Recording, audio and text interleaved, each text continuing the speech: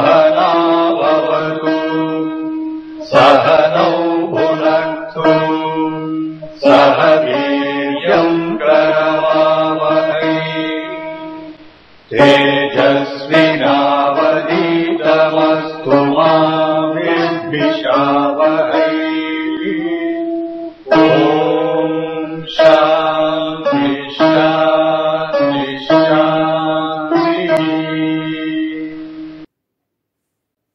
जय गुरुदेव।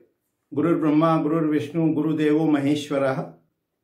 गुरु साक्षात परम ब्रह्म। तस्मै श्री गुरुवे नमः।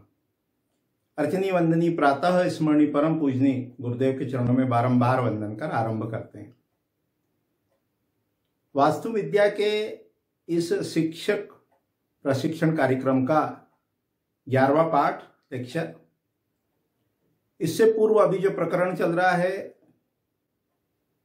वो वास्तु शास्त्र का संबंध वैदिक वांग्मय से। वैदिक वांग्मय के जो चालीस क्षेत्र हैं, वेद हैं वेदांग हैं उपांग हैं आर्यणक है, ब्राह्मण है, आदि जो विभिन्न ब्रांचेस कह लो, साहित्य कह लो, जो वेद के हैं, उनका आपस में वास्तुशास्त्र क्या संबंध है? पिछली इकाई में, पिछले पाठ में हमने वेद और वेदांग का वास्तु से संबंध देखा, जाना। वेद चार ऋग्वेद, सामवेद, यजुर्वेद और अथर्वेद वेदांग में शिक्षा कल्प व्याकरण, निरुक्त, छंद और ज्योतिष। अब आज की इकाई में, आज के पाठ में हम उपांग, इसको अपन दर्शन भी कह सकते हैं। छह उपांग, न्याय वैशेषिक सांख्य, योग, कर्म, मीमांसा और वेदांत, इसका वास्तु से संबंध देखेंगे। ये दर्शन है, दर्शन। जब स्थपति लक्षण की बात आती है, वास्तुशास्त्री के गुण पर चर्चा होती है तो स्थपति के चार लक्षण बताए, शास्त्र, कर्म, प्रज्ञा और शील। तो स्थपति क्या हो, उसे शास्त्रों का ज्ञान हो, प्रज्ञावान हो, कर्मवान हो और शील हो। तो इसमें जो प्रज्ञा वाला क्षेत्र है, प्रज्ञा उसकी कैसे विकसित हो, कैसे वो प्रज्ञावान हो इसके लिए ये जो उपांग है, जिनको अपन दर्शन भी कहते हैं, उसका ज्ञान होना आवश्यक है। नंबर एक।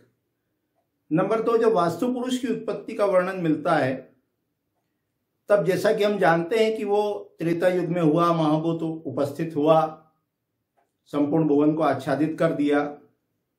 विश्वकर्म प्रकाश, अध्याय एक, श्लोक छ और सम्रांगण सूत्रधार राजा भोज ने जो ग्रंथ लिखा स्थापत्य वेद पर, वास्तुशास्त्र पर।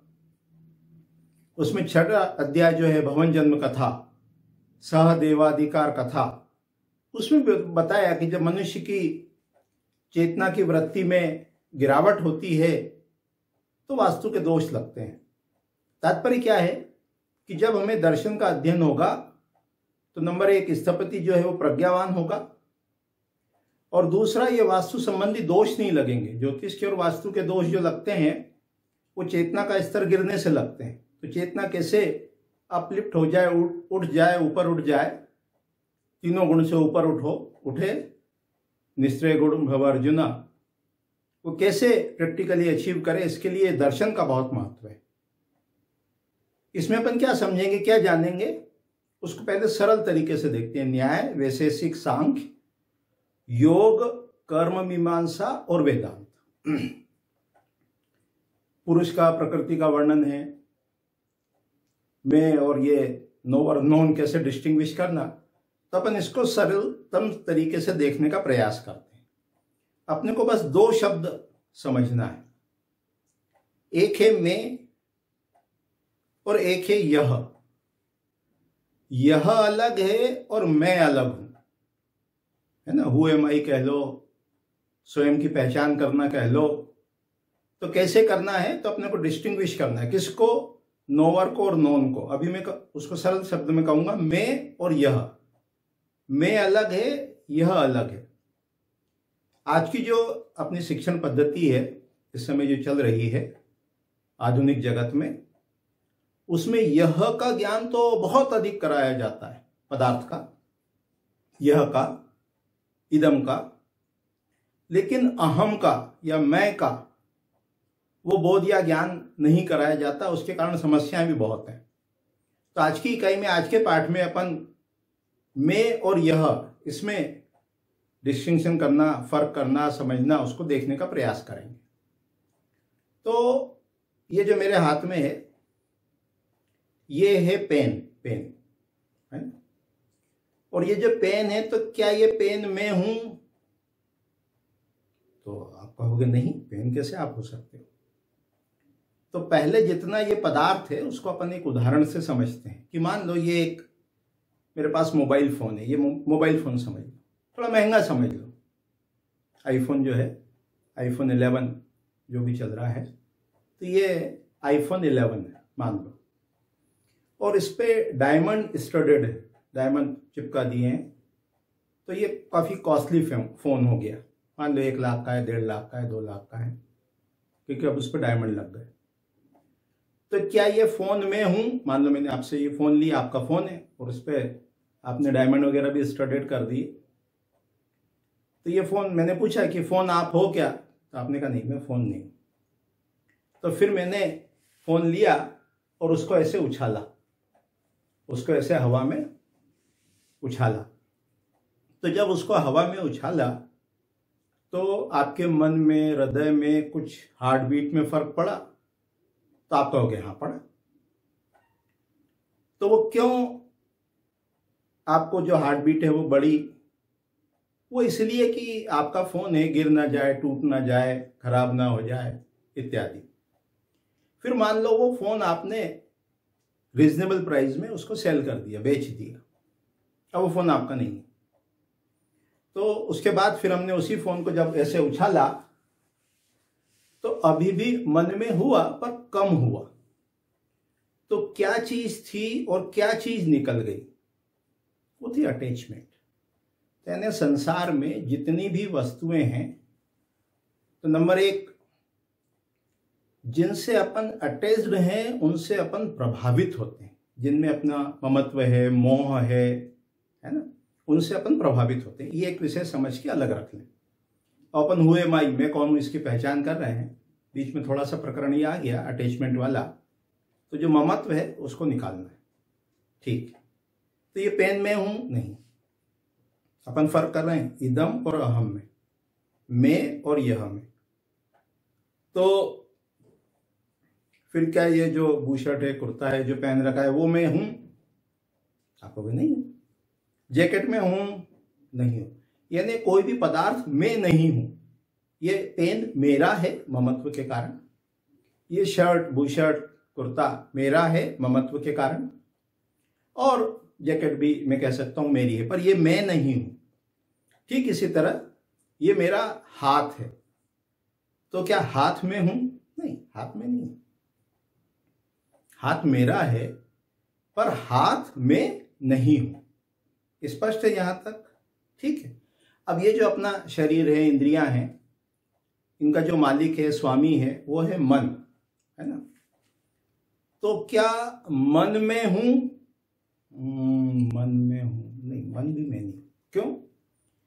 कि मन में विचार उठा मन में क्रोध जगा मन में कामना जगी तो मैं क्या करता हूँ? मैं उसको जानता हूँ।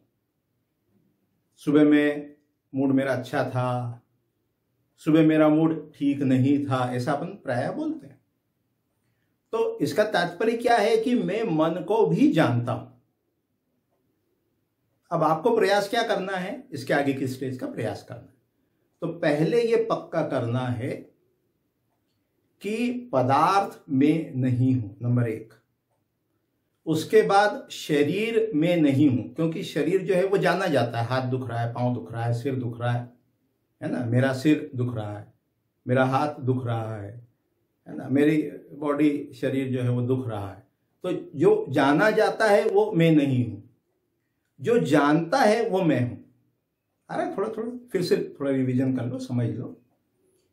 अपन क्या अध्ययन कर रहे हैं? अपन उपांग का अध्ययन कर रहे हैं। वेद के जो उपांग हैं, उसका अध्ययन कर रहे हैं। कौन कौन से हैं? वो छह हैं। न्याय वैशेषिक सांख योग, कर्म, मीमांसा और वेदांत। ये दर्शन है। षड दर्शन भी कहते हैं इसको। और इसमें जो अपने को डिस्टिंग्विश करना है, समझना है, वो पुरुष और प्रकृति। ये समझना है।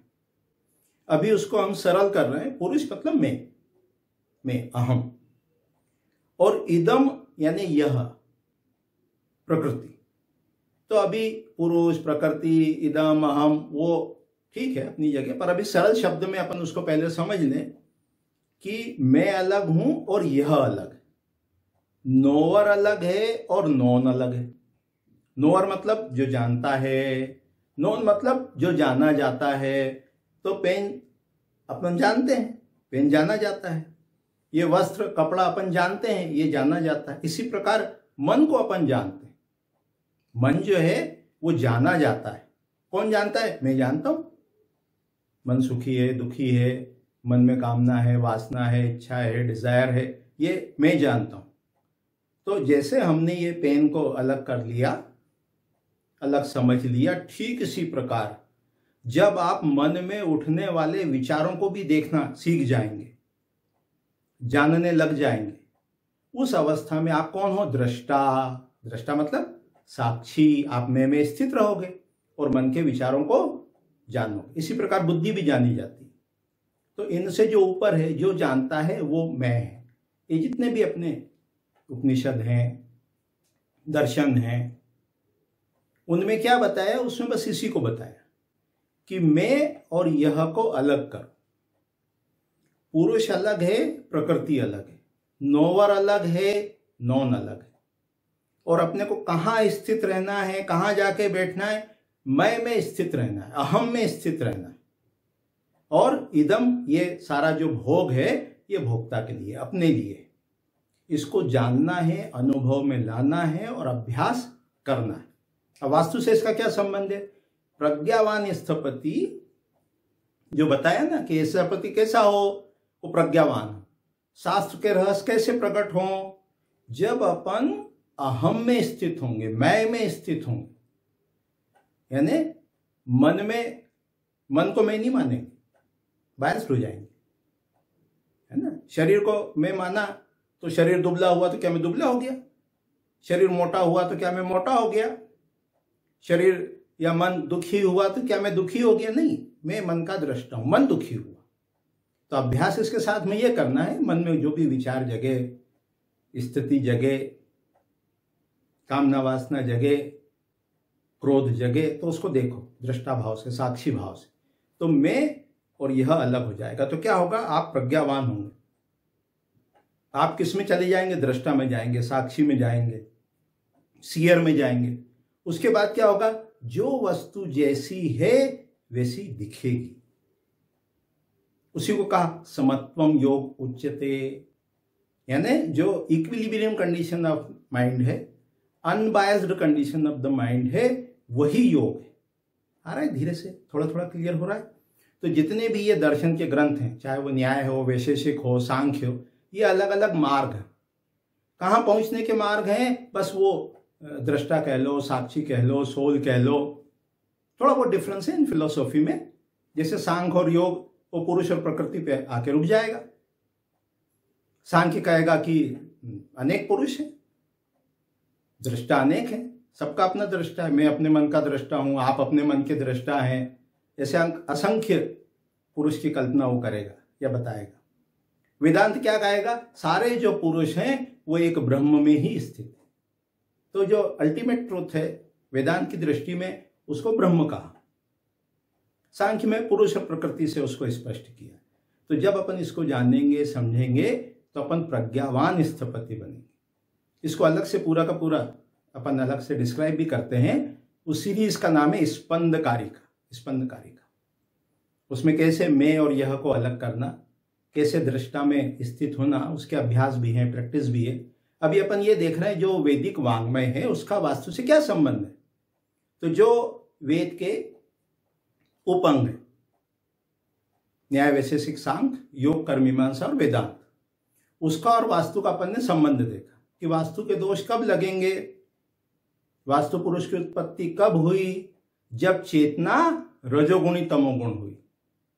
और भी कुशल स्थपति बनने के लिए प्रज्ञावान होना आवश्यक है। प्रज्ञावान कैसे होंगे? जब हम साक्षी अवस्था में रह पाएँगे दृष्टा भाव में जा पाएँगे। समत्वम, मन की जो समत्व की स्थिति है, उसमें रह पाएँगे। तीनों गुण से ऊपर उठ पाएँगे। आ रहा है थोड़ा थोड़ा और भी अलग से अभ्यास जब करोगे, वो स्पंद कारिका की अपनी सीरीज़ है, उसके भी जब ऑडियो वीडियो आप सुनोगे, देखोगे तो ये और स्पष्ट होता जाएगा। अभी सार रूप में देख रहे तो अभी इतना ही कह के वाणी को विराम देते हैं। जय गुरुदेव। जय